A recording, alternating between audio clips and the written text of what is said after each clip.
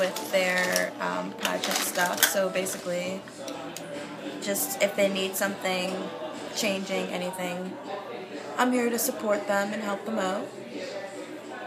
Um,